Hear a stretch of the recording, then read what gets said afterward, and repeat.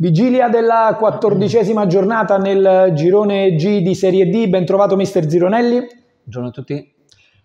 Trasferta importante, trasferta contro il Budoni, vista la classifica dobbiamo considerarlo uno scontro diretto in chiave salvezza, almeno per adesso. Certo, i numeri dicono questo, quindi ci stiamo preparando bene per questo.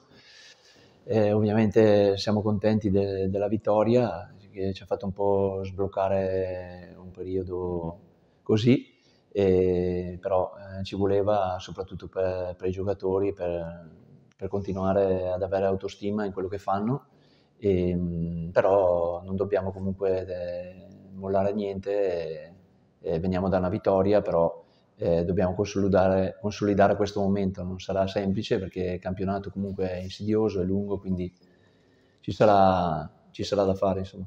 In settimana c'è stata maggiore serenità per poter lavorare sui difetti che sono emersi nella gara di domenica scorsa e che tu stesso hai segnalato nella conferenza stampa post gara. Sì, eh, abbiamo lavorato su questo e comunque vanno consolidate certe certezze e poi ovviamente ci sono del, delle cose da limare, anche nella vittoria comunque si vanno a analizzare eh, la compattezza che ancora non c'è a pieno sui vari reparti e quindi questo ne siamo consapevoli, ne sono consapevoli i ragazzi e dobbiamo cercare di, di sistemare queste cose qua. Rendiamo visita a una squadra che ha collezionato la maggior parte dei punti finora in classifica proprio tra le mura amiche. Gara particolare, campo particolare, come si affronta la trasferta contro il Budoni?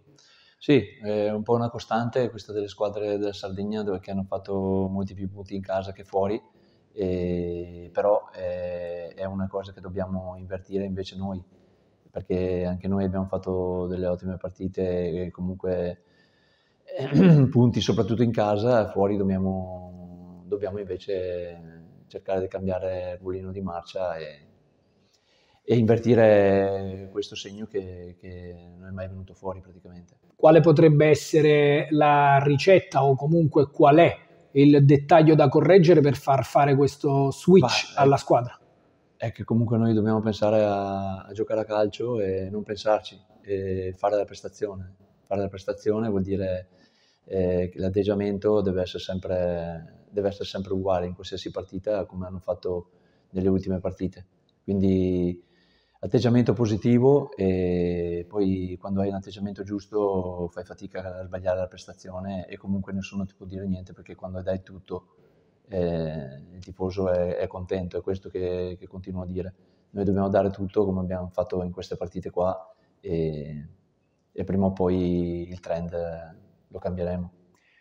È iniziato il periodo più complicato probabilmente per la gestione psicologica dello spogliatoio, riapertura delle liste di trasferimento, distrazioni, testate giornalistiche che spesso e volentieri le buttano un po' a caso, insomma, le voci di mercato, come si fa a mantenere la concentrazione su una gara importante come quella di, eh, contro il Budone? Sì, ovviamente questo è il periodo più brutto perché sono un sacco di notizie, però da giocatore ricordo che la cosa importante è comunque allenarsi bene, perché se, in qualsiasi caso se rimani nella squadra o se vai su un'altra devi, devi stare bene, quindi non ha nessun senso a, a, tirare indietro la gamba, non allenarsi bene, perché comunque eh, fa parte del tuo mestiere e devi farti trovare pronto.